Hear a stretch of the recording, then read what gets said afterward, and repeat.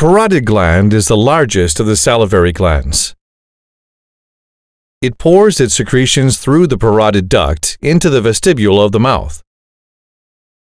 The parotid gland is wedged in the space bounded by the ramus of the mandible anteriorly and the mastoid process posteriorly.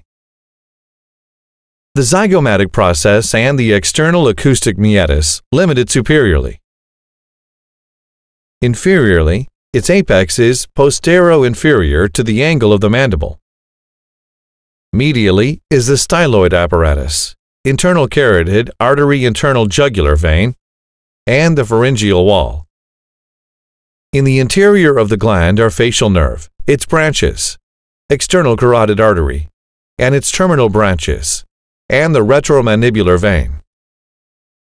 The infratemporal fossa is best seen when the ramus of the mandible and the parotid gland are removed. It is the part below the zygomatic arch.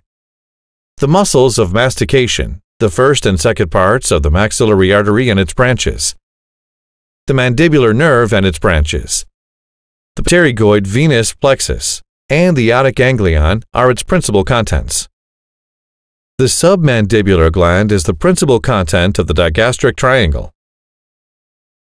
Its superficial surface is seen just below the inferior border of the mandible in this dissection. The posterior edge of the mylohyoid muscle demarcates it from its deep lobe. The facial artery is closely related to this gland.